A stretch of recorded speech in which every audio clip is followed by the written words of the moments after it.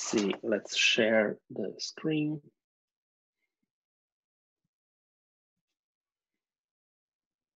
Okay, perfect. So um, today we're gonna uh, shift gear a little bit and uh, and, and uh, stop working with our uh, uh, toy model that we've used uh, during the first two lectures to introduce a lot of EFT concepts, and um, we'll instead turn our attention to an effective theory that actually describes something that is observed in experiments, namely chiral perturbation theory.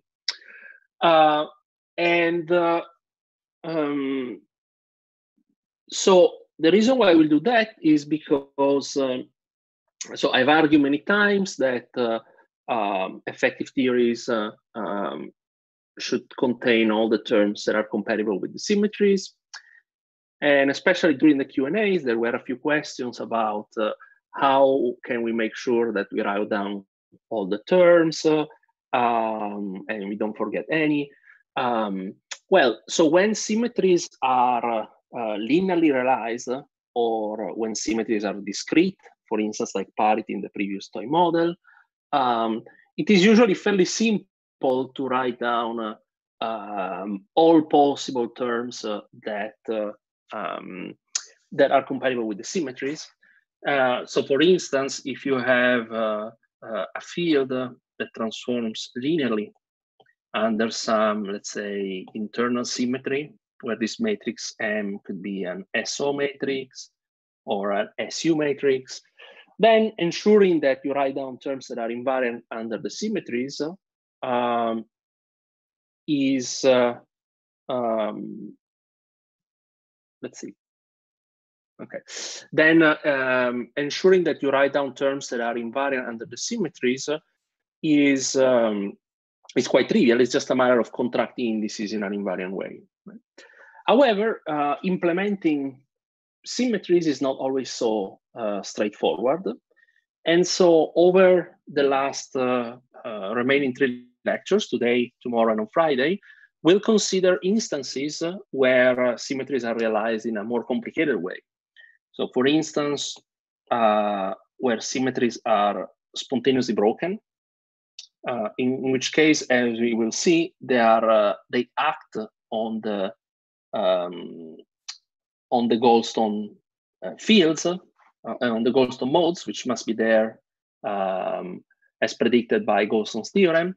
Uh, they act on these fields in a, a nonlinear way, so they are nonlinearly realized. And so it's not just a matter of contracting indices now. We need to be a little more, more clever. Uh, we'll discuss also situations where uh, uh, symmetries are not exact, but they are approximate, okay? So they're broken by some term in the effective action, but these terms are in some sense, which uh, needs to be made precise depending on the theory at hand, are in some sense small compared to the other terms. Uh, we will discuss what happens when some symmetries are anomalous, which means uh, uh, they are broken by uh, quantum effects. Uh, and uh, in the last lectures, we also talk about um, accidental symmetries. Um, I know that Andrea has already uh, discussed uh, accidental symmetries in the context of the standard model, for instance, uh, baryon number.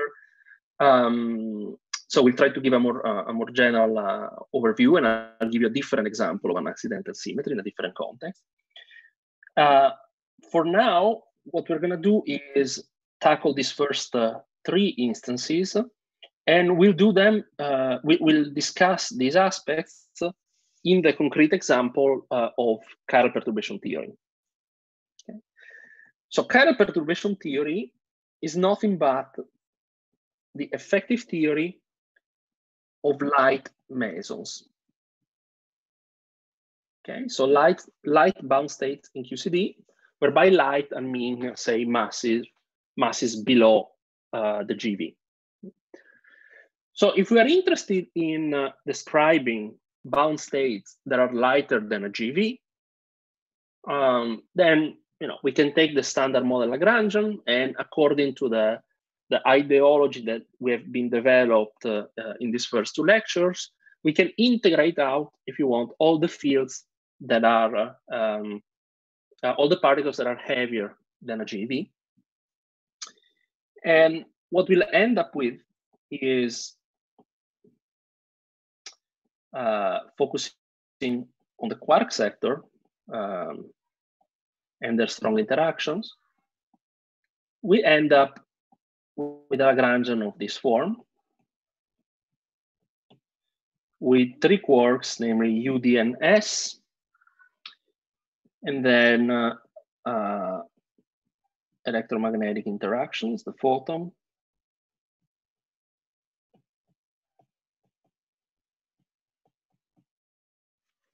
the gluon field, strong interactions, and then of course a slew of uh, um, irrelevant or non-renormalizable operators. And uh, the covariant derivatives that act on the fermions is just uh, defined as usual as ordinary derivative minus a piece that contains uh, the photon field minus a piece that contains the gluon field. Very good. Now, uh, the mass scales that appear now in, in this Lagrangian are uh, uh, the three masses of the quarks. And then there is a, a fourth scale, which is uh, uh, not apparent in this Lagrangian, but it's a um, um, confinement scale of QCD, lambda QCD. And uh, it turns out that in nature, the masses of this quark are smaller than lambda QCD. So uh, this is say of order 300 MeV, we could say, and the, the masses of the quark uh, uh, of the lightest quarks are of order MeV for the U and D quark, and say of order 100 MeV for the strange quark. And so uh, this suggests that uh, to study bound states, we can start with an approximation which is uh, uh, amounts to neglecting the quark masses compared to the lambda QCD scale. Okay. So admittedly, this is going to be a much better um, approximation, say, for the UND quarks versus for the strange quark. And in fact, uh, this will be reflected in uh, how well uh, the framework we will develop uh, will match actually with experiment. Uh, but still, it's uh, it turns out to be a, decently good approximation, even for the strange quark, at least to get a qualitative picture of what kind of bound states we expect at low energies. Um, and in fact, we'll double down and neglect not only uh, the masses of, uh, of the quarks, but also uh, their couplings to um, electromagnetism.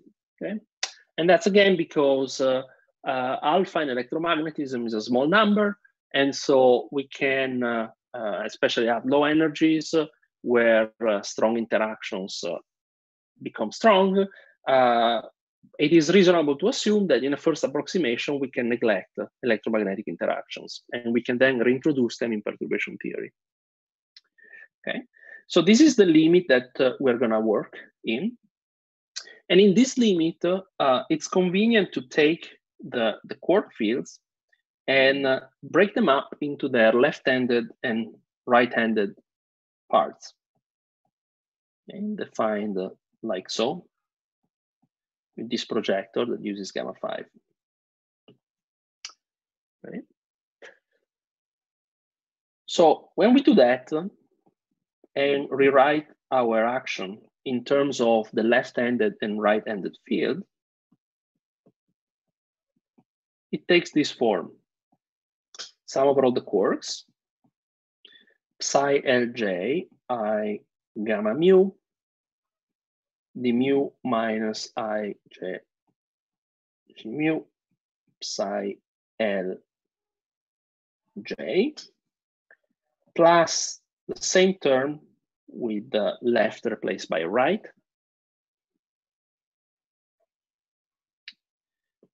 And then we have, of course, uh, uh, the kinetic term for the gluons plus a bunch of irrelevant operators.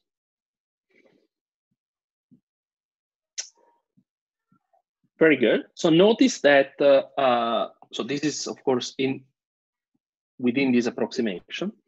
And notice that now by neglecting the, uh, the quark masses, uh, uh, the left and right-handed parts of the fermions decouple from each other. And this approximate action has, in fact, many symmetries as a result.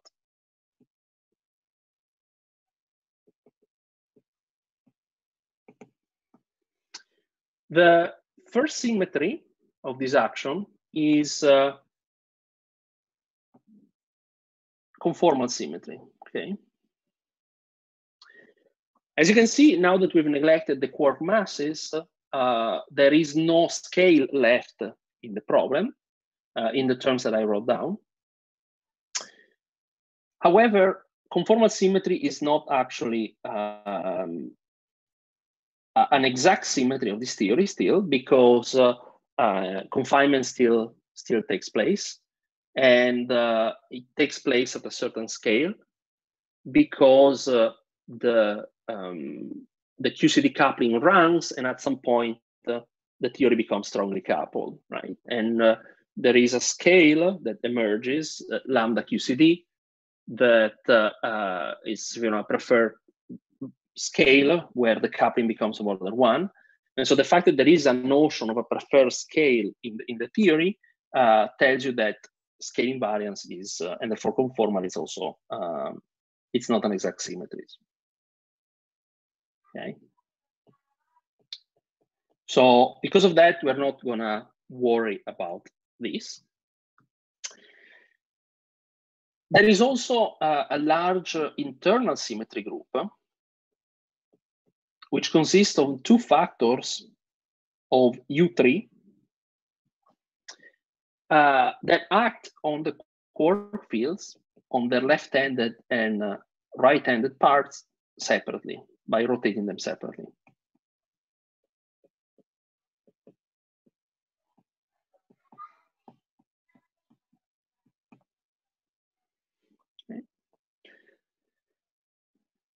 And uh, um, in fact, it is helpful to decompose this large internal group as a product of different factors. By extracting uh, the U1 subgroup from each of these U3s and rewriting these as SU3, SU3 left, the SU3 that acts on the left-handed quarks, cross SU3 right. And then for the two U1s, rather than working in a basis of U1 left and U1 right, I'll actually work in a basis of, of U1V cross U1A, vector and axial, where the U1V part simply uh, describes global rephasings, meaning rephasings of all the quark, uh, both left-handed and right-handed. Whereas uh, uh, in contrast, the U1 axial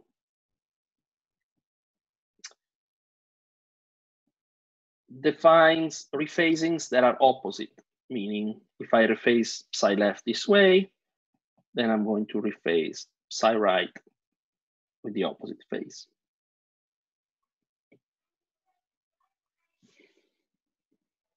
Okay. So all these factors that I wrote have a somewhat different status in uh, um, uh, have a different status. So let me start with uh, U1A. As I mentioned, this is also known as axial symmetry. And it turns out that this symmetry is actually anomalous. So it's not preserved by quantum corrections. And I'm going to have more to say about it in the next lecture. Okay? So for now, let's just set it aside. And let's consider this other product, uh, SU3. Yeah. Excuse me, Riccardo. Okay. Uh, Please. I'm interrupting you because we have some problem, some maybe some delay, so we are not able to see everything that you're writing. Oh, okay. We me... we always see. Okay, I think like this is probably better. Okay, so let me try to uh, go on. And at what point was it uh, delayed from the very beginning, or? Uh, no, uh, the from from point two, but I think it's now fine. Okay, so um, very good. So uh, thank you. If it happens again, please. Uh, yeah, yeah, I'll let you know. Jumping.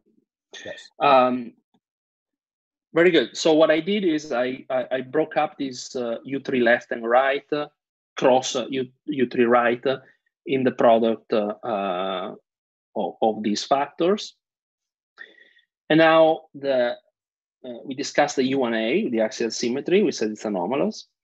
Now the SU3 left cross SU3R is known as uh, chiral symmetry.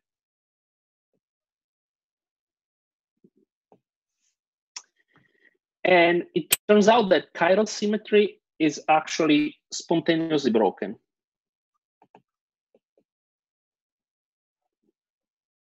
Because strong interactions cause this operator to acquire a non-trivial value. Okay, this is going to have mass dimension 3, so there is going to be some scale v uh, cubed times delta ij. And as you can see, because of the delta ij, this VEV is not invariant separately under uh, independent rotations of SU3L and SU3R, but it's only invariant when uh, both uh, you rotate simultaneously with the same matrix both the right-handed and left-handed quarks. In other words, SU3 left cross SU3R is broken down to the diagonal subgroup, which uh, in analogy with the U1, I'm gonna call also SU3 vector, where both the left-handed and right-handed uh, quarks um, um, uh, rotate uh, simultaneously. Okay? Finally, we're left with the, the U1V, which uh, is nothing but familiar baryon symmetry, if you want, as implemented on the quarks. And as Andrea discussed in his lectures, this is an example of accidental symmetry. And we'll, we'll say more about that um, in the coming lectures about accidental symmetries. Notice in particular, emphatically, that U1V is not spontaneously broken, okay? So if you rephase uh, uh, with the same phase, uh, right-handed and left-handed quarks, this operator doesn't change. This is neutral under U1V. Uh, and for this reason, uh, um, the bound states are going to have a definite, uh, a definite baryon charge. Okay. Very good. So the um, starting point of chiral perturbation theory, the EFT we're going to discuss today, is the observation that if chiral symmetry is spontaneously broken, there have to be, according to Goldstone's theorem, eight Nambu-Goldstone bosons at very low energies, okay? These are, these are massless states. And uh, um, theorem tells us that uh, they should be there. Okay? So if we integrate, uh, um, if we go to low energies, we should be able to describe what's going on in this limit uh, with a theory that only involves uh, um, the Goldstone modes. Okay? And this theory is chiral perturbation theory. The expansion parameter in this theory that we're going to write down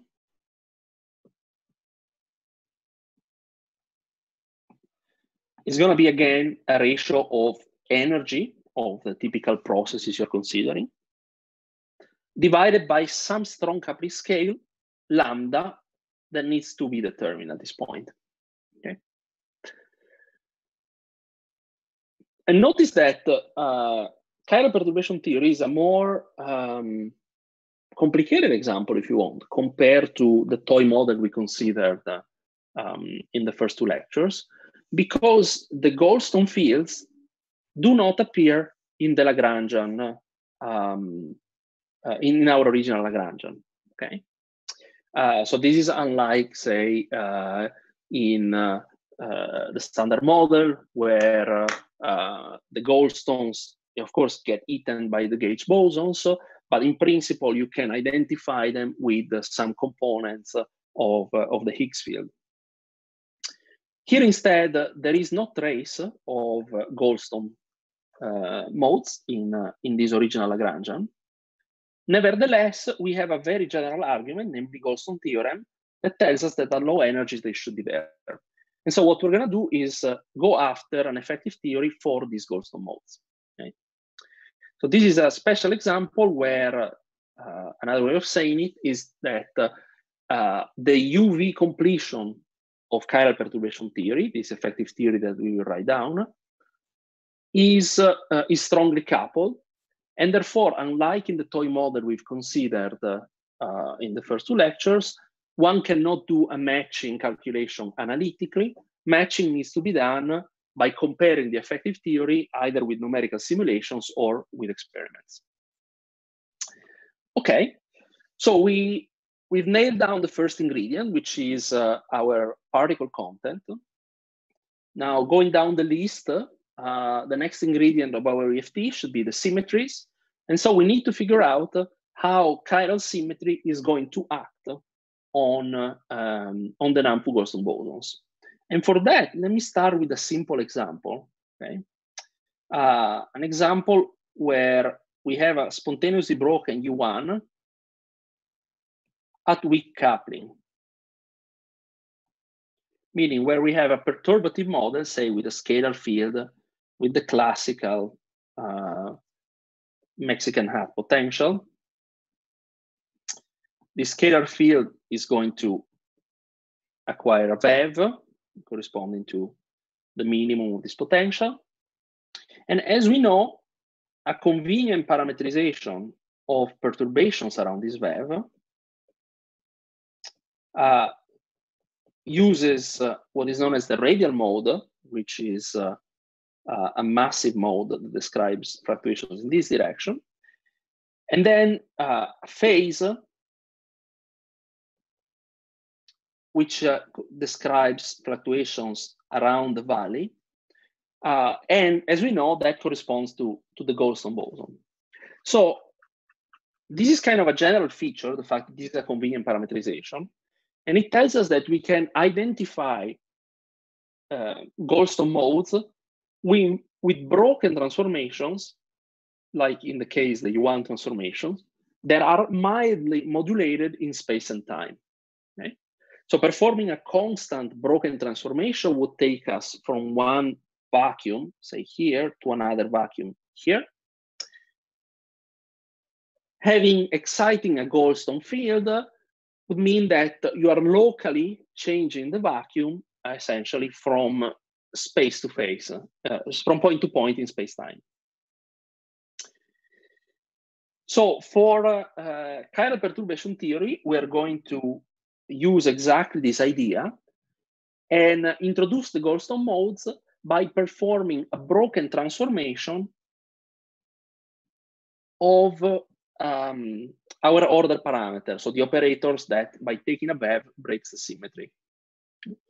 And the broken transformation that we will consider is one where uh, L is equal to the complex conjugate, transpose conjugate of, uh, of R.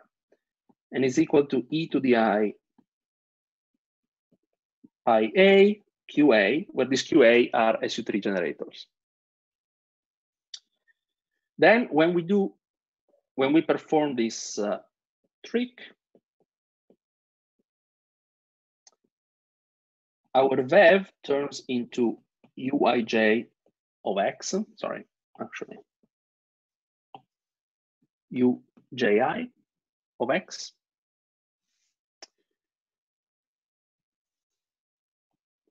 With u of x, just the product of the of the two SU3 matrices, L of x and R dagger of x. Is also equal to e to the 2i pi a of x qa. Okay, but these QAs are our Goldstones. Now, because we know how uh, SU3 left and SU3 right act on the two quark fields, they act linearly, we also can tell right away how um, these transformations will act on you. They're gonna act like so, with an L on the left side and an R on the right side. And I'm putting a tilde on these transformations just so we don't get confused between the generic global transformations, uh, the chiral transformations that we might want to perform, and uh, this L of X and R dagger of X that we used to parameterize uh, mild uh, Goldstone excitations um, around the VEV. Because U transforms uh, very so simply, it is actually easy to now to write down an action for U uh, that is invariant under chiral symmetry. Okay? To do that, we need to use also U dagger and also uh, some derivatives because uh, since U is uh, an SU3 matrix, U times U dagger is equal to u dagger times u is just one, right? So there is no non-trivial contraction that we can write down that doesn't involve any derivatives. And by Lorentz invariance, we need to have an even number of derivatives so that we can contract all the indices. And so at lowest order, the simplest thing we can write down that is invariant under chiral transformations and Lorentz symmetry looks like so. Oh, sorry minus f squared over 4, trace over all the indices, d mu u dagger, d mu u. Okay? And you can convince ourselves that you, if you transform u in this way, and u dagger in the conjugate way, both L tilde and R tilde will just drop out. And then, of course, there are corrections. There are higher derivative corrections, but this is the dominant term in the um, in a derivative expansion. And so it's the leading term in our uh, chiral perturbation theory effective action. So I think before I, I make a few general comments, I think this is a good time to pause and ask if there are any questions so far. Yes, so there are a couple of questions, Riccardo. The first one is from Sudipta, who is asking, can you please explain why the axial symmetry is anomalous? Okay, so that uh, would take us uh, a little beyond um, what uh, what we want to do here. But essentially, um, in a nutshell, uh, what you find is that um, if you calculate the the noether current associated with uh, uh, with U1, with the U1 axial, you find that its four divergence, it's not, uh, uh, it doesn't vanish. So there is no associated conserved charge. But uh, uh, in fact, its four divergence is equal to a factor that uh, depends on uh, the field strength of the gluons. Okay, so like trace of Nu, G. Uh, and uh, uh, sorry, trace. Um, sorry, the, the, there is a trace, and then the the the, the, the Lorentz indices are contracted with an epsilon. Uh, and uh, I will say more about it uh, in, the, in the next lecture, but essentially this tells you the, the, this factor comes from loop corrections um, and is the manifestation of the fact that uh, quantum corrections actually break U1A uh, and therefore don't um, ensure that there is no conserved quantity. Okay. So I'm sorry I cannot go more into details just because of time, but I will try to comment a bit more on this uh, uh, in tomorrow's lecture. Yeah, Sudipta, if there are still doubts, uh, you can take advantage of the Q&A session of tomorrow also. Definitely, definitely. So there is also, uh, so there are two more questions. The first one is from Andres, who's asking, where does the transformation for you comes from? Uh, so I'm assuming uh, that Andres is referring to this I transformation. Think, yes, I think that one. And uh, so you see, uh, because uh, we know how psi right and psi left transform, right? We said that our Lagrangian was invariant provided uh, psi L and psi right transform like so where in this particular case, you know, we're focusing on the case where L and R are uh, um, are SU3 um, transformations. Then, uh, if you take this uh, uh this definition and now you perform an SU3 left and an SU3 right transformation on the left hand side, the right hand side is gonna turn into what I wrote here. And so in this way, we can identify L.U.R dagger as the transformed of U under a chiral symmetry transformation. So we have one more question. Um, how can I see that there is a non-vanishing VEV for the quark bilinear? Uh, that's a good question. Um, you cannot see it analytically, okay, because uh, um, it's, a, it's a strongly coupled uh, it's a strongly coupled system.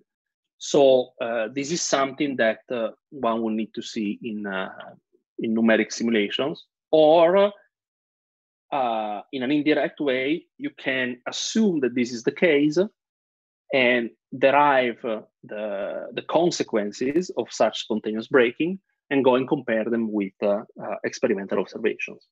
And it turns out that the pattern uh, that we see in terms of particles and, and also eventually their masses, we'll talk about that in a moment, matches quite well what we actually see in nature. Okay, Riccardo. So for the moment, there are no further questions. Okay. Very good.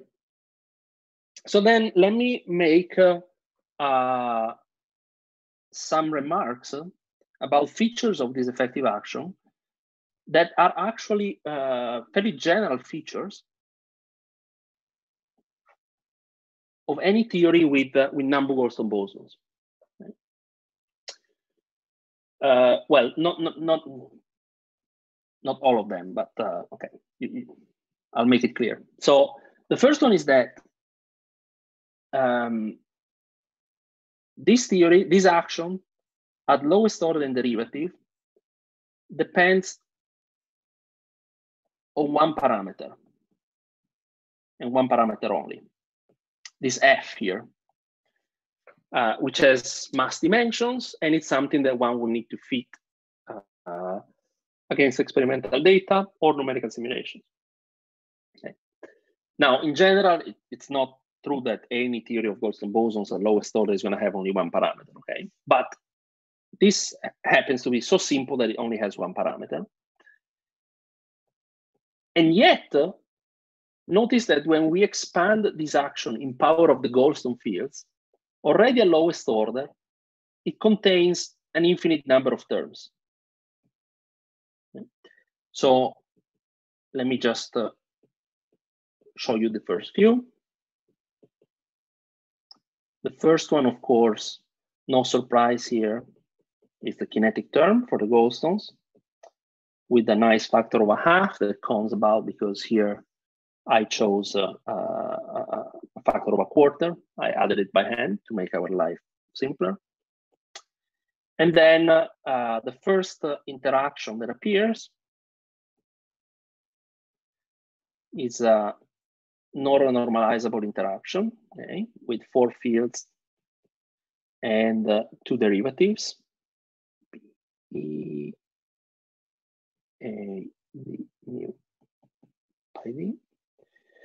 And then there are going to be uh, terms with, say, two derivatives and six fields, eight fields, and so on and so forth.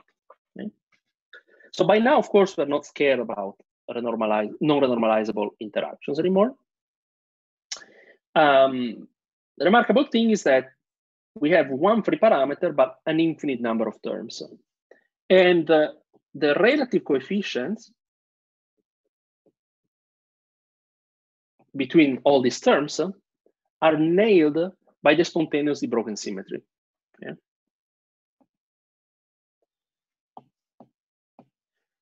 So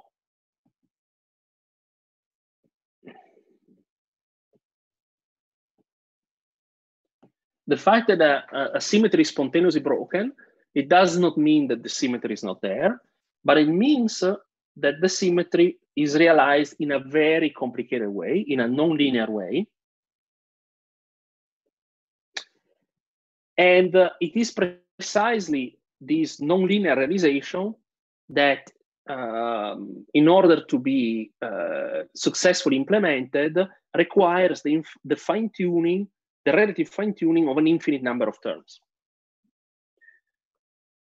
To give you a sense of how complicated the transformation rules of the Goldstone fields are, let's consider one particular transformation, is one where L tilde is e to the 2i epsilon a qa, and R tilde is just trivial, just unit matrix.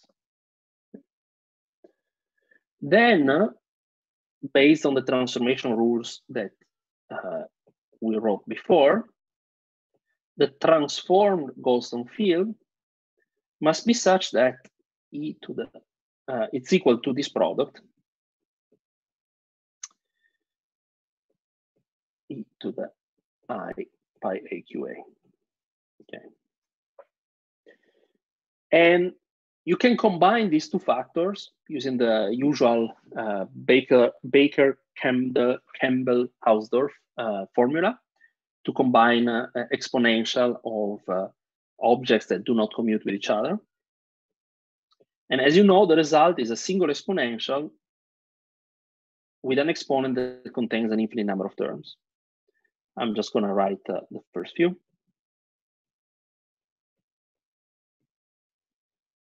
plus things over the pi squared times QA. Okay. So this shows that the transformed field is actually an infinite sum of terms that contain arbitrarily high powers of, uh, um, of pi's of the original field. And it is in order to implement this complicated transformation property that you need the fine tuning between all these coefficients. Okay. So incidentally, this shows that it's much easier to work uh, with you rather than directly with the pi's. Okay? Because you transform in a very simple way, transform linearly, whereas the pi's transform in a very complicated way. And so if we had to guess uh, the expanded action starting from uh, the explicit transformation property for the pi's, it would have taken us a very long time. Whereas uh, in, by working with the U, we were able to write down the action right away. So anytime you uh, work with Goldstone modes, you always want to find the smart combination of Goldstone fields that uh, makes your life simple and transforms uh, in a in a in a nice way okay? Uh, rather than working directly with the with the pi fields. And uh, um, there is actually a general method to do that and, and i'm going to say a few more words about that in a moment for now let me uh, continue saying that uh, uh, this non-linearly realized symmetry here is clearly not manifest at the level of the expanded action. But another symmetry that is uh, manifest is uh, uh, are SU3 rotations of the pi's. Okay? So transformations of the form pi a goes to VAB pi b, where this is an SU3 SU3 matrix. So this SU3 is actually the SU3 vector. And this is a general, another general result, which says that uh, the symmetries that are unbroken by your operator taking a VEV that remain unbroken, those symmetries are realized linearly on the Goldstone fields. And so the, the invariance there is manifest. Whereas the ones that are spontaneously broken are realized non-linearly, and it's difficult to see um, just by naked eye that, uh, that the real action is invariant. So these are linear. Okay, and the last comment I want to make, huh? going back to uh, what I was saying before, the fact that you want to come up with uh, um, some smart combinations for the Goldstone fields. So notice that uh, to write down our action, we use the uh, the matrix UIJ, which is the fundamental representation of SU3. Okay, so it's a three by three matrix. But we could have also worked with a different representation, any representation that we wanted of SU3. And had we done so, the relative tunings between the terms that are quadratic in pi, quartic in pi, sextic in pi, and so on would have remained the same. What would have changed is uh, the coefficient that appears, the, the overall coefficient that appears in front of this whole combination. Okay? But of course, the coupling F oops, sorry, the coupling F is already an arbitrary constant. And so whatever extra coefficient you would obtain, we can always just absorb it in this, in this arbitrary coupling F. And so this is another important lesson about, uh, um, about uh, in general, theories with Nambu-Goldstone bosons. The particular representation that you use essentially is uh, depends on what is the particular symmetry breaking mechanism, uh, particular mechanism that breaks the symmetry spontaneously. Okay? In this particular case, it was this bilinear operator, but in other theories, it could be a different uh, operator built out of uh, um, out of quark fields. Okay? In which case, uh, the natural representation to use would be different. But at the end of the day, the information about the particular representation and therefore about the symmetry breaking mechanism is only going to affect the values of the Wilson coefficient in the effective theory. Okay, it can always be reabsorbed there. And this resonates with our uh, with the ideology that we've been developing over the first two lectures, namely that the Wilson coefficient in an effective theory know something know what the UV is like. Okay, that's their role. The particular values of these coefficients encode what the UV is like. Whereas uh, the particular structure uh, that we can write down in terms of the Goldstone fields, in this case, this particular combination, only depends on the symmetry breaking pattern. And by that I mean only depends on the fact that we're breaking this group down to this subgroup. This is what is known as the symmetry breaking pattern. And in fact, there is there exists a, um, a, a, method, a procedure known as a coset construction, or also CCWZ by Callan, Coleman, Wess, and Zumino, the people that came up with it, uh, construction, uh, that uh, allows you to derive what are the convenient building blocks to you to work with.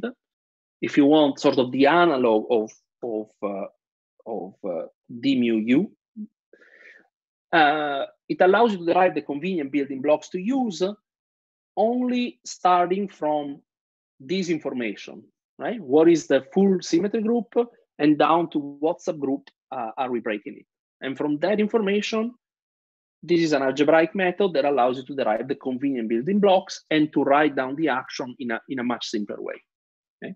I won't have time to uh, discuss this at length. Andrea mentioned that uh, uh, maybe he already did, or uh, uh, if not, he will in the next few lectures, uh, talk about the CCWZ construction in the context of, um, of the Higgs sector, of the standard model. Um, even though I won't be talking about it uh, explicitly, you can find uh, uh, some notes about it in, in chapter three of my notes. And there I try to be a little general and discuss the situation where not only internal symmetries might be spontaneously broken, but also um, uh, some space-time symmetries. And there are added subtleties there uh, related to the fact that the standard Goldstone theorem applies only to internal symmetries, meaning that uh, it's only when internal symmetries are spontaneously broken, that there is a one-to-one correspondence between the number of spontaneously broken symmetries and the number of Goldstone modes. When you break space-time symmetries, this one-to-one correspondence is no longer there. And in general, you're going to end up with fewer Goldstone modes than the symmetries that you're breaking. And uh, the coset construction is also able to account for that uh, by uh, using some by imposing some additional constraints that are known as inverse Higgs constraints. Okay? So if you're ever interested in that, you can uh, find more material uh, in my notes. And uh, if you find yourself reading them, of course, and you have questions, feel free to bring them up during the Q&A. It goes without saying that uh, any exercises that are in that part of the section, you, you shouldn't feel uh, there is no need to do them unless, of course, you want to uh, try your hand at them, but there is no need to, to hand them in for sure.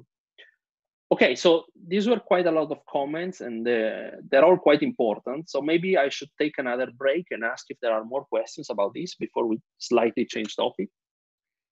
So for the moment, it appears that there are no further questions, but please guys, feel free to ask or to raise your hands in the chat before we move on?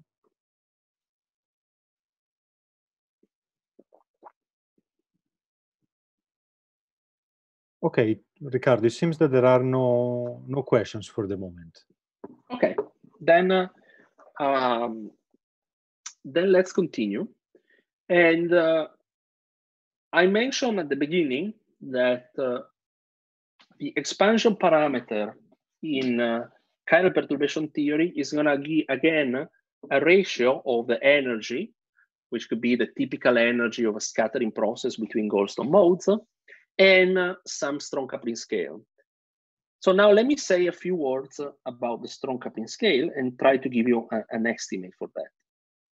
And also, along the way, uh, try to dispel uh, a possible confusion that could arise. So first of all, uh, you see in this expanded action here, we have a scale in front, f squared. Now, typically for scalar fields, we like to work with uh, fields that are canonically normalized, well, for all fields, but for scalar fields, this means that the factor in front of the kinetic term should simply be this minus one half, okay? And so we can introduce the canonically normalized field by just rescaling pi a by a factor of f.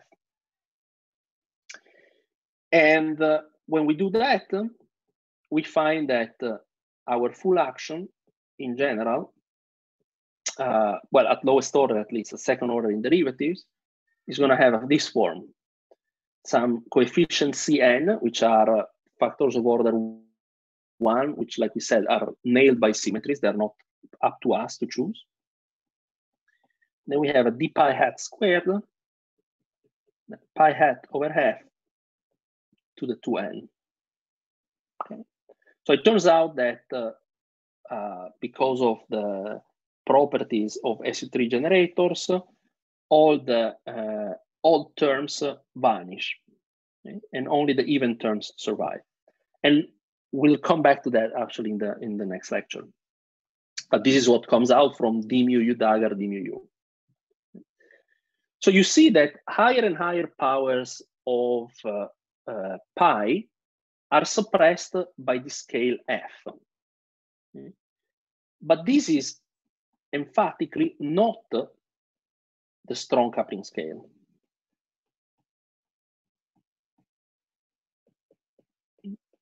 Even though it suppresses, uh, um, you know, uh, non-renormalizable operators, it suppresses higher powers of the fields, not higher powers of derivatives. Whereas we know that, uh, um, um, whereas the, the strong coupling scale here is what suppresses, if you want, higher powers of derivative. And so in general, without expanding it, our full action is going to take this form. So depend on u and u dagger and then on derivatives divided by the strong coupling scale lambda. And you can convince yourself that uh, if you write down something just uh, uh, two derivatives, then the lambdas that suppress two derivatives are going to cancel exactly the lambda squared that I put here up front. And you're going to be left with a factor of f squared and recover the action that we wrote before. Okay. So to estimate what lambda is, we can use again um, a sort of naturalness argument.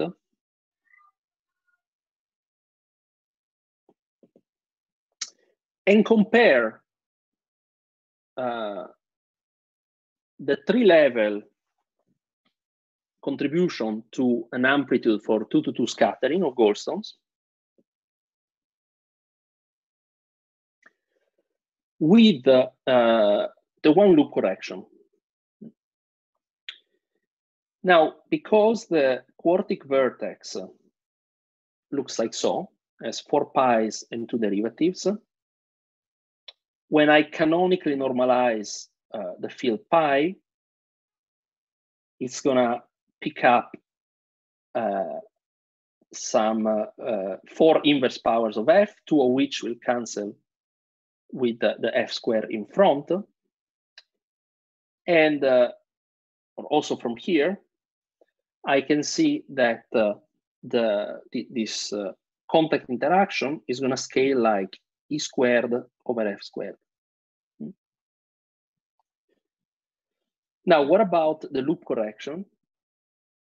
Well, the loop correction is going to scale like uh, um, a loop factor usually a 4 pi square that arises anytime you, you integrate uh, um, over the momentum running in the loop.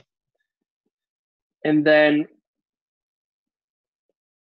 there is going to be one power of e squared over f squared for each of these two vertices. So I will square that. And then, of course, and here I'm being a little schematic, you will have an integral over the um, the momentum running in the loop, and you have two propagators in the loop. So that's effectively like a 1 over k to the fourth, which means that this is essentially dimensionless. Okay, this can produce a log if you want, or some constant. And so the whole loop correction here can be rewritten in this form, e squared over f squared, so something of the same order as the tree-level correction times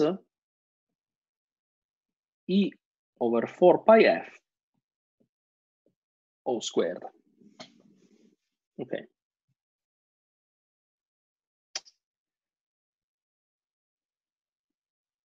Now, of course, uh, there will be also uh, another uh, correction of disorder, which comes from uh, uh, the term in the effective action with four derivatives. Okay? So if I take a contact interaction with four derivatives, it will also give me something that scales like e to the fourth, exactly like this loop contribution. Right? And in general, that's going to be suppressed by some scale over the lambda to the fourth. Okay. So now you see that uh, um, in order for this loop correction not to be larger, uh, so th this loop correction is going to be smaller than the tree level correction as long as e the energy is less than 4 pi f. And this 4 pi f is uh, also the, uh, the maximum value that our strong coupling scale can take, okay?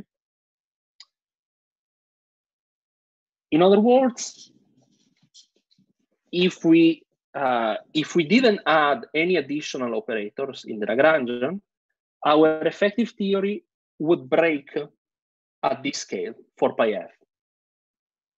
If we add other operators with Wilson coefficients that are anomalously large, our effective theory could stop working even sooner than that.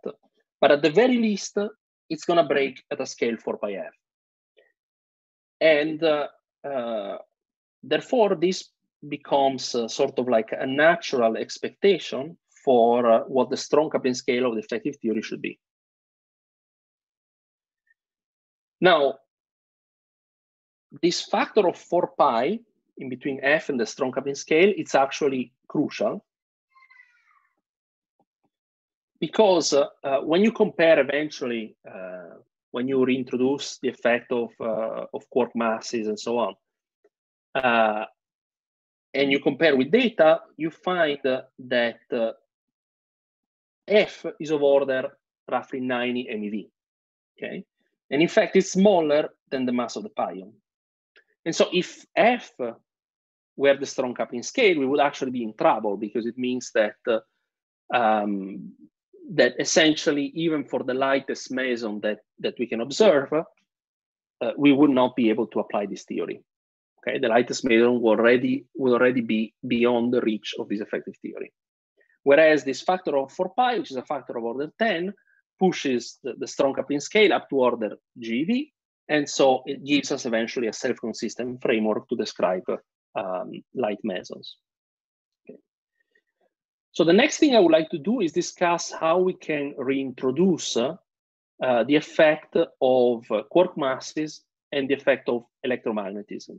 Because uh, so far, chiral perturbation predicts eight Nambu-Goldstone bosons, and when we go and turn on our accelerator, we find that uh, uh, there are no Nambu-Goldstone bosons in nature, um, at, at, least in, in, in particle physics. Um, and so uh, the discrepancy is due to the fact that uh, so far we have neglected uh, uh, quark masses and electromagnetism.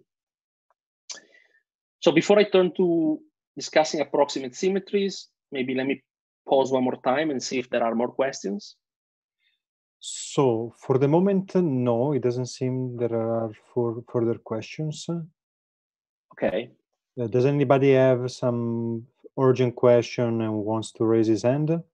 Her or his hand?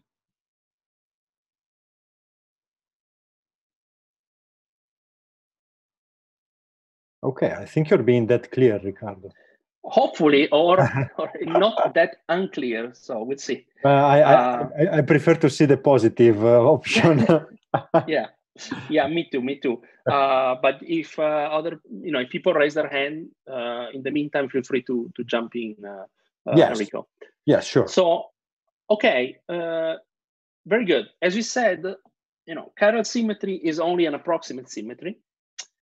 It's broken uh, by, by two effects, by the fact that is, there is a small uh, electromagnetic coupling, okay? And so there is a small dimensionless parameter. And uh, uh, we have quark masses. And now the small uh, dimensionless parameter is, if you want, the ratio of the quark masses divided by the strong coupling scale. So in order to take these effects into account, we're going to use a, a trick which is used in general in any effective theory whenever you're interested in uh, discussing uh, approximate symmetry.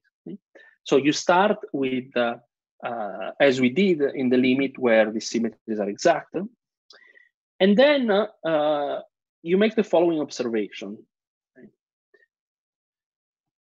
In the particular context of our theory, let me add to our initial quark Lagrangian the following term.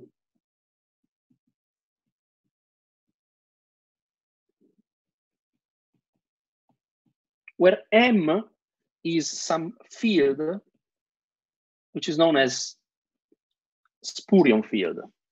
So this is a generic term anytime we have to deal, we are dealing with, uh, uh, with approximate symmetries.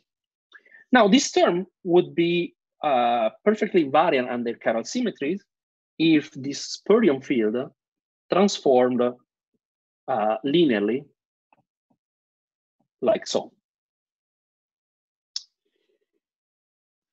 On the other hand, this term also reduces to the term, the quark masses term that we dropped, when mjk is just the diagonal constant matrix with the quark masses along the diagonal.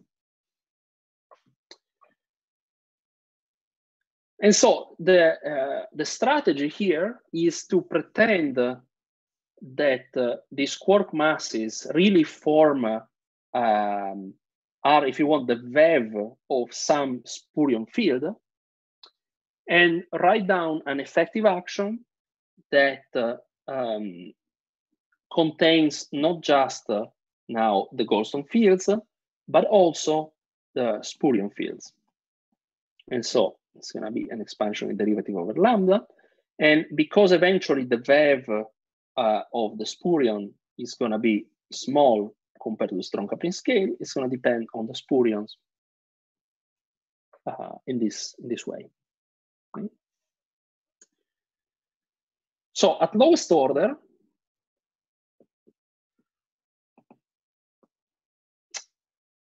the um, sorry before i say uh, that let me uh, back up for a moment and emphasize one thing namely that anytime you have uh, um, an approximate symmetry you can think of that as uh, introducing new expansion parameters in your effective theory okay? Without explicit symmetry our expansion parameter was e over lambda now we also have a small dimensionless parameter, E, and uh, this ratio of masses, right? So there was a question which was, uh, uh, you know, when is it that we uh, expansion parameters can be ratios of masses? Uh, this, for instance, is an example where the, the quark masses and the mass scale corresponding to the strong coupling scale give you a ratio that you can use as an expansion parameter.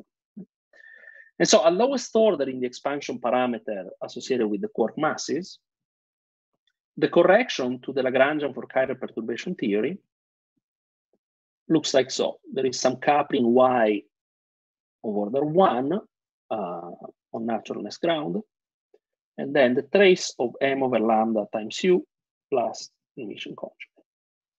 And you can convince yourself that uh, if M were to transform like so, that this term would actually be invariant under chiral perturbation theory, under sorry, under chiral symmetry. But now, when we replace M with uh, its uh, um, uh, with its VEV, we can expand U in powers of the Goldstone fields and derive uh, an infinite tower of interactions that uh, break chiral symmetry by an amount that is controlled by the ratio of quark masses over lambda. And in particular, if you expand uh, up to quadratic order in the fields, you find, not surprisingly, that because these terms break chiral symmetry, that uh, your Nambu-Goldstone modes uh, acquire a mass. Okay? But the way in which they acquire a mass uh, is not random. It's not uh, not every Nambu-Goldstone mode has a different mass. But in fact, uh, these modes are arranged into three pairs. Uh, and I'm writing here the actual particles with which uh, these pairs are identified. And here I'm writing their, uh, um, uh, their masses, okay? And we have the K plus and K minus.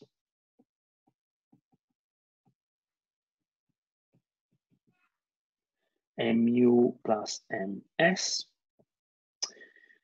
Then we have k0, k bar 0, y lambda md plus ms. So there are these three pairs, and then the fourth pair actually has uh, a mass matrix with some non-diagonal elements.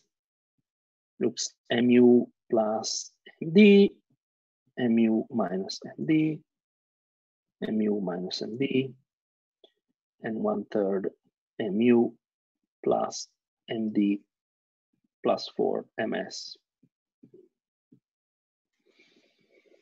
Okay, very good. So this is quite non-trivial, right? Because you could have expected all the ghost modes to develop a different mass, and instead, there are relations, non-trivial relations between the masses of the ghost modes. Okay.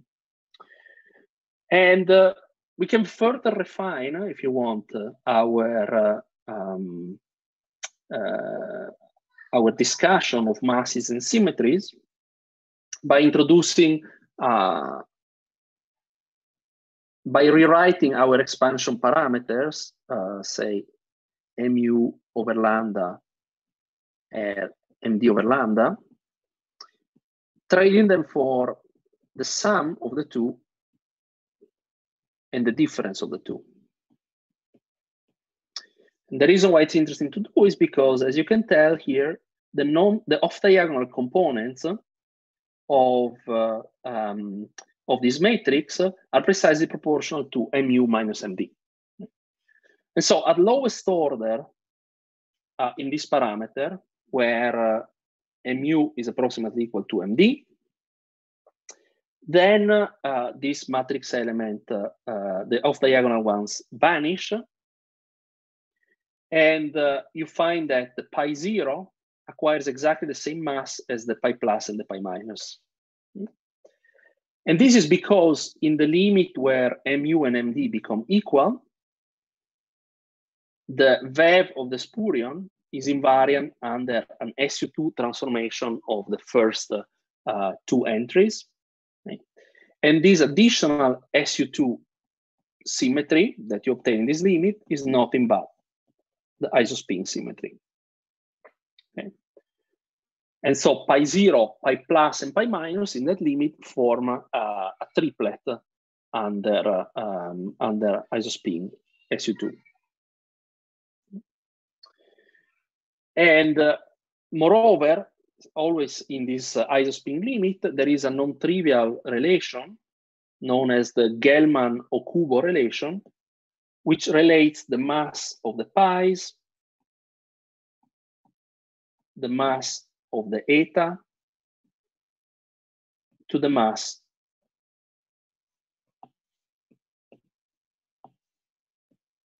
of all the k of all the k's, which also become uh, degenerate in this limit. Uh, sorry, sorry, sorry, sorry. Yes, yes, perfect.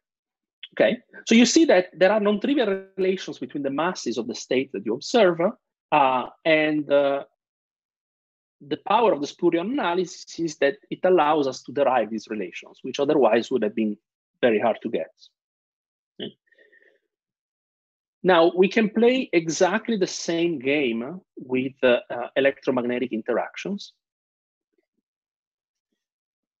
What do I mean by that? I mean that uh, uh the electromagnetic interactions we neglected before can be written like so. E times nu times psi bar Lj gamma mu QL JK psi K of L plus an analogous term with L replaced by R. And once again, if QL and the QR that lives in the last term um, were to transform like so, and similarly for the QR, then these terms would be uh, would be invariant. On the other hand, uh, when uh, the when QL and QR reduced to the following matrices,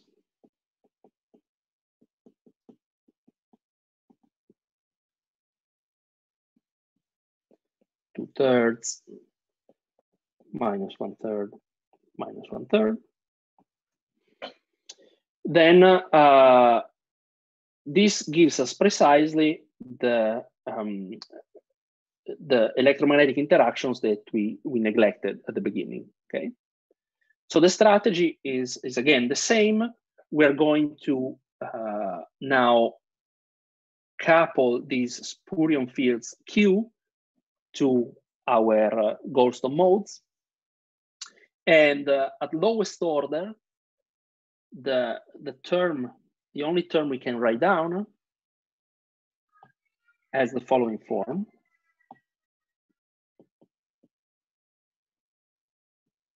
f squared lambda squared and e squared times a y prime over 2 trace of Q L U Q R U dagger plus Hermitian conjugate. You can convince yourself if, that if QL and QR transform in these ways, that this term will be invariant. Now, a word about uh, this E squared that I added here.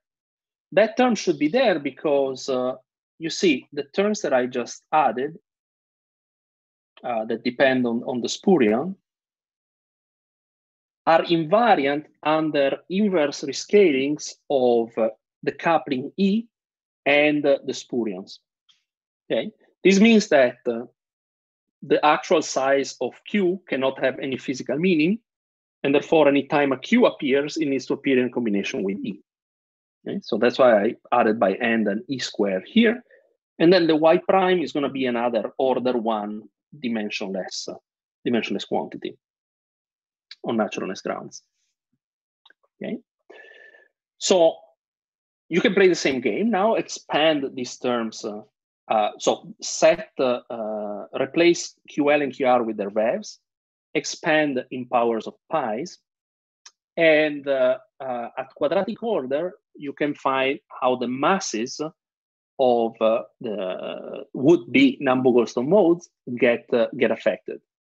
And what you find is that the only uh, masses that uh, change are the masses of the pi plus and pi minus, and the relative change is y prime e squared times f squared. sorry. And quite remarkably, the other mass that changes is the mass of the K plus and K, mi K minus, and it changes by precisely the same amount. So the fact that uh, uh, the change in masses of these two different uh, particles is the same at lowest order in the electromagnetic coupling uh, goes under the name of Dashen's theorem.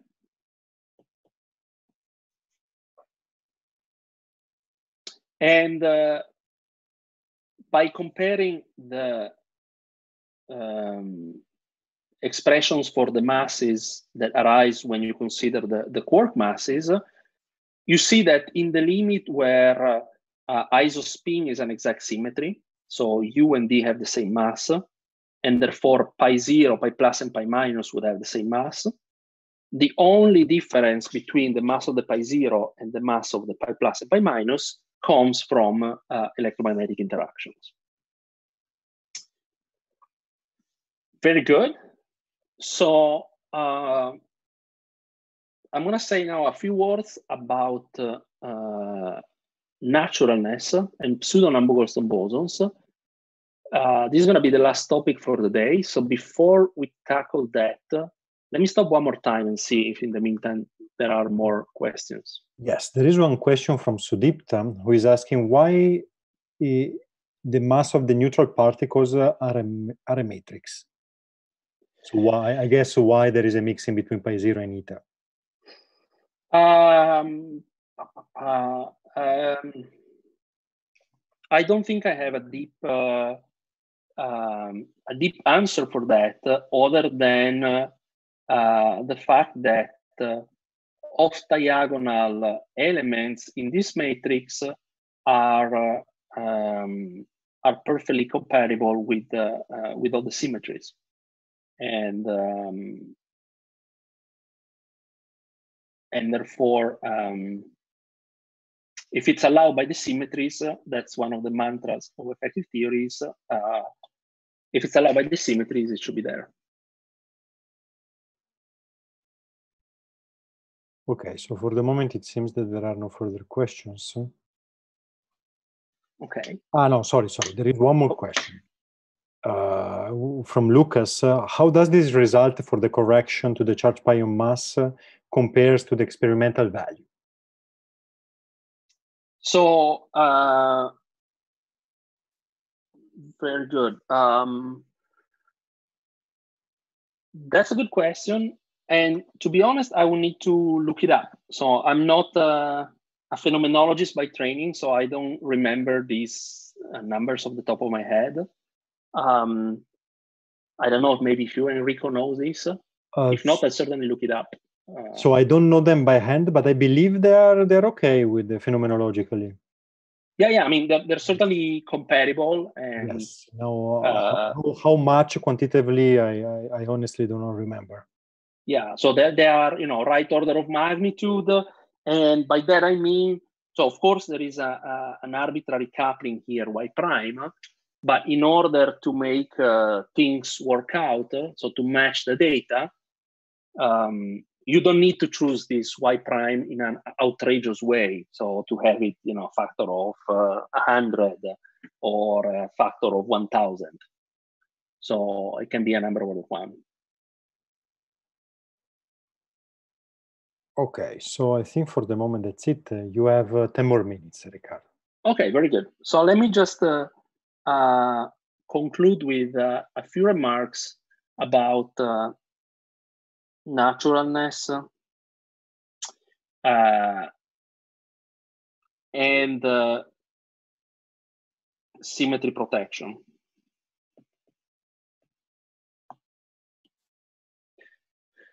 Okay, so um, yesterday we discussed how scalar masses are in general UV sensitive, meaning that uh, their, um, the loop corrections to the mass parameters are proportional to the strong coupling scale. Okay? And we discussed how that uh, uh, leads to difficulties, say in the case of the standard model and so on and so forth. Now, uh, wrong pen. If we identify the strong coupling scale with 4 pi f, we can rewrite the mass uh, of, uh, for instance, uh, of the pi plus and pi minuses as follows, okay, as y times uh, mu plus md over lambda plus y prime e squared over 4 pi squared times lambda squared. Okay. And so naively, this looks a bit like uh, the um, at face value, like the natural value for the scalar mass that we discussed uh, yesterday, right? If you remember, um, in our toy model, we found that the natural value for the mass of the scalar, which we back then we denoted with capital M, was of order y squared over 4 pi squared with y a small number times the strong coupling scale. And so at face value, these two things don't look uh, very different, right? Because these are small parameters times strong coupling scale. These are small parameters times strong coupling scale. So it would look like these two things uh, are similar, and we should be worried now about naturalness of, of the Goldstone modes, of, of, of, the mesons, and so on, right? However, there is a, a, a very, very important difference, namely that this coupling Y here in our toy model describe the strength of the coupling between UV modes and IR modes. So it's a parameter that uh, you have access to uh, when you talk about the full theory, which includes both UV and IR modes. If you're only stuck with the IR, then uh, a priori, you don't know how strongly your light particles will couple to the heavy particles, and uh, that's something you need to figure out uh, uh, with experiments, okay?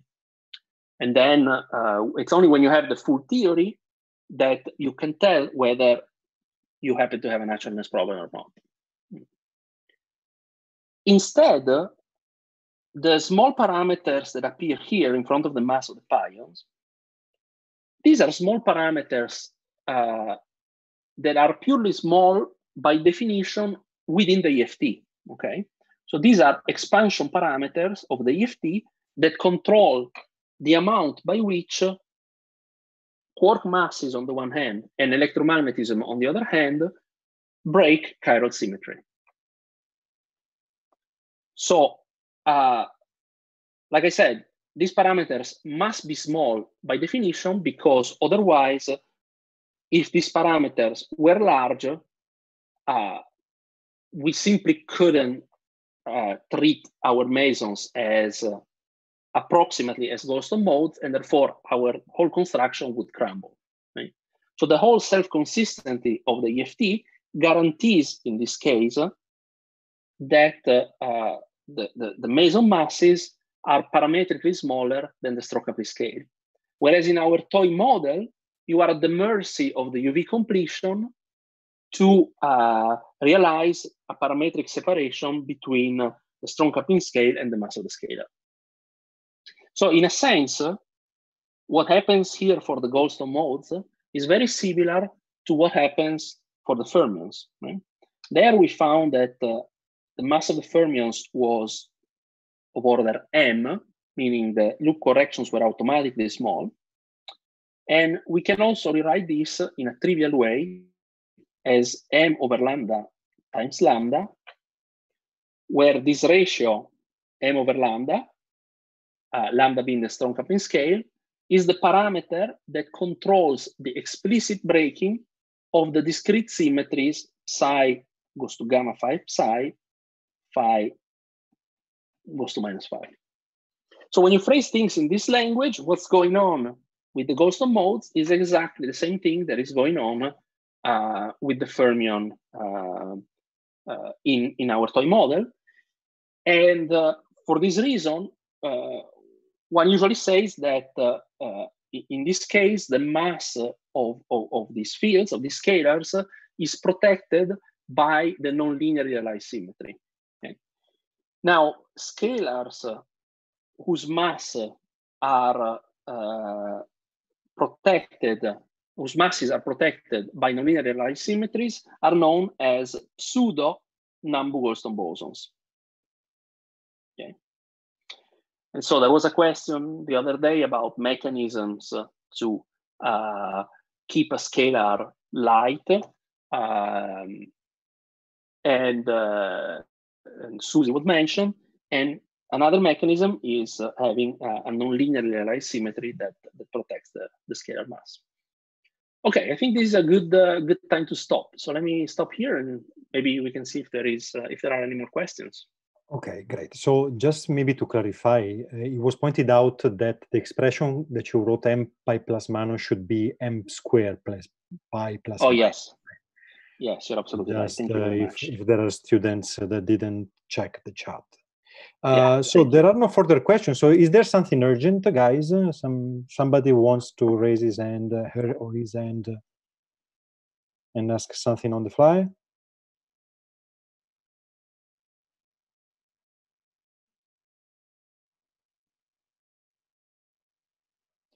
Okay, Riccardo, it seems that like everybody's happy. Okay. Which is uh, very good, marvelous. Okay. okay, so let me let me thank you again for the very very nice lecture. Uh, let me also thank. Uh, ah, okay, so we have a question. So let me let me ask you this uh, this quick question. Is there a mass difference between B zero and B plus mesons? Uh okay, this is a question for, for a phenomenologist. Um, I would think so, but uh, uh, so uh, I okay, I would need to review my knowledge of mesons, but uh, if I'm not mistaken, the, the, the B mesons contain other quarks, and therefore they're not captured by by chiral perturbation theory, and uh, and so any mass difference that you have there needs to be accounted for in a, in a, in a different way. Yes, uh, so maybe maybe I can add uh, on this. So, yes, there is a, there is a small mass difference between B zero and B and B plus meson, but then you need to be to be careful because you have various type of B mesons. You have B sub D, B sub S, so you need to to really point pinpoint the other quark that is coupling with B. But as Riccardo was mentioning, the B quark is uh, above the strong coupling scale that is allowing you to get this mass separation and uh, at, the, at the end of the day write in the chiral perturbation theory. So to write down your theory for, for the B meson, you need to use other techniques uh, like heavy meson theory, which is something completely different. Okay, it's not uh, it's not chiral perturbation theory. So this is just to just to answer the question. So something else uh, before we close uh, the day.